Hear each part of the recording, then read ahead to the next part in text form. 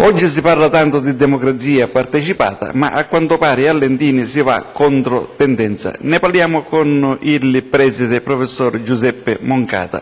Eh sì, in pratica sono rimasto meravigliato che il comune di Lentini c'è stata la prima commissione consiliare che ha proposto di modificare la presentazione di istanze e petizioni da 50 a 100 firme e quella per le delibere da 200 a 400. Questa è stata questa decisione è stata presa dopo che noi del Movimento Civico Alcobaleno e del Rinnovamento per il Territorio avevamo presentato una proposta di delibera per, per la riduzione delle spese comuni, del Comune.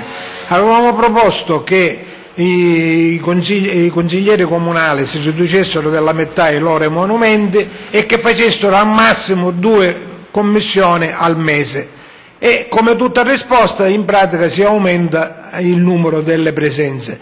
Questo che cosa significa? Significa che non si vuole assolutamente che i cittadini prendano in considerazione ciò che i consiglieri fanno e mi meraviglia che in pratica c'è stato il consigliere Merisola che de delibera, nel dibattito che ci fu in consiglio comunale sulla nostra proposta disse che nessuno pensi che noi siamo qui per prendere soldi, ma la dimostrazione sta nel fatto che loro ogni mese, io ho tutte le delibere, ogni mese fanno da 25 a 50 riunioni di commissione al mese prendendo la bellezza di 700-800 euro netti al mese e soprattutto i consiglieri della prima commissione sono quelli che hanno la maggiore presenza. A settembre questa delibera dovrà essere approvata dal Consiglio Comunale. Tenuto conto di quello che è successo nella seduta precedente, con molta probabilità il Consiglio Comunale l'approverà. Ecco, allora l'appello mio è quello che i cittadini dovrebbero finalmente smettere di rivolgersi ai politici,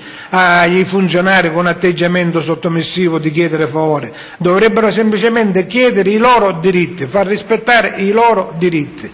E noi siamo qui a vigilare, siamo presenti, il Movimento Civico al Caboleno di Lentini sarà presente per verificare che ciò non accada.